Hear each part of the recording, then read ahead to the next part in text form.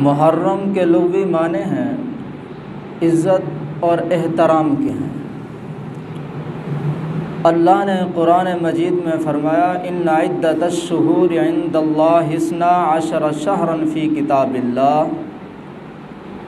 यौम खलक़स्समावाति वल अर्द मिनहा अरबातुन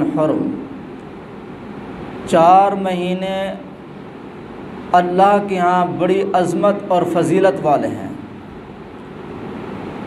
उन चार महीनों में से एक महीना मुहर्रमुल हराम का है। तो मुहर्रम को अल्लाह ने दो हिस्सों में तकसीम किया है।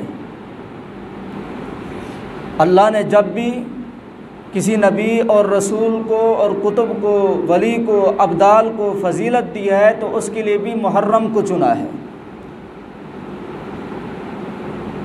और अल्लाह ने जब भी किसी इबलीस को, शैतान को, फ़िरौन को, कारून को, हामान को सज़ा दी है तो उसके लिए भी अल्लाह ने मुहर्रम को चुना है। मुहर्रम का महीना जब शुरू होता है, ईमान वाले वो खुशियाँ मनाते हैं।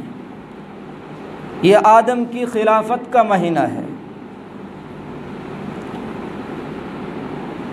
अल्लाह रब्बुल आलमीन ने जब हज़रत आदम वसलाम की तोबा को कबूल किया, उस वक़्त भी जो महीना था, वो महीना दस मुहर्रमुल हराम का था। हज़रत नू वसलाम की कश्ती जब किनारे पर लगी तो उस वक़्त भी जो दिन था, वो दिन दस मुहर्रमुल हराम का था।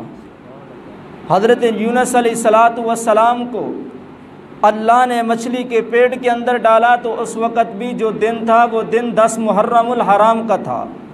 हज़रत सुलेमान सलात वसलाम को अल्लाह ने जब हकूमत दी तो उस वक़्त भी जो दिन था, वो दिन दस मुहर्रमुल हराम का था। हज़रत इब्राहीम सलात वसलाम को अल्लाह ने जब पैदा किया तो उस वक़्त भी जो दिन था, वो दिन दस मुहर्रमुल हराम का था।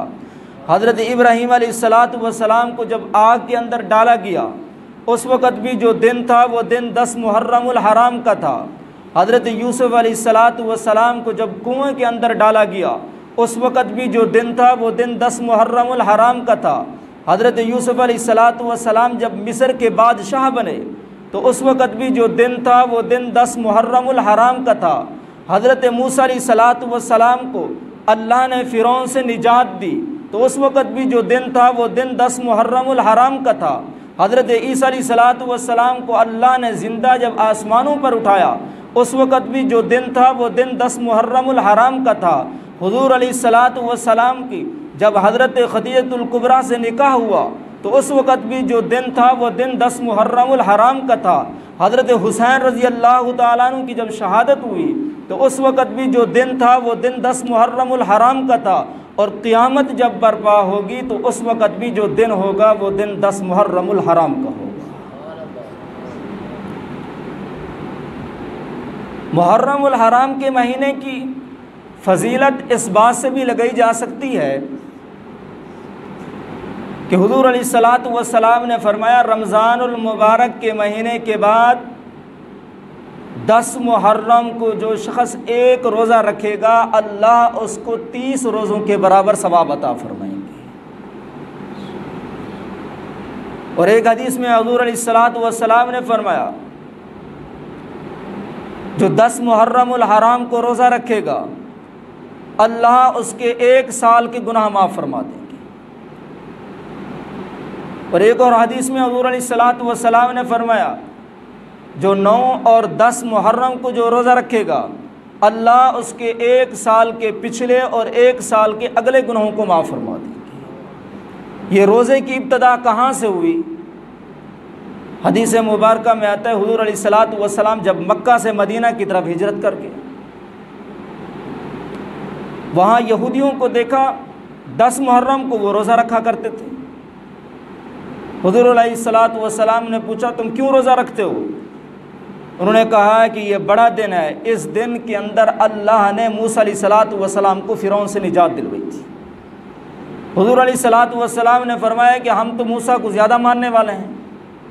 हम भी दस मुहर्रमुल हराम को रोज़ा ही रखेंगे।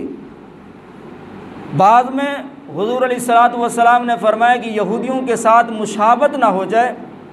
मेरे जो उम्मती हैं, फरमाया कि वो यूँ करें, नौ, दस को या रोज़ा रखें या दस और ग्यारह को रोज़ा रख लें। दस और ग्यारह का रोज़ा रख लें। रोज़ा रखेंगे तो एक साल के अगले और एक साल के पिछले अल्लाह जो है उनके गुनाहों को माफ़ फरमा दें